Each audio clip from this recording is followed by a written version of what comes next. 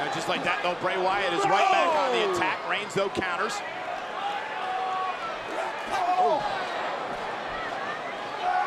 Watch it!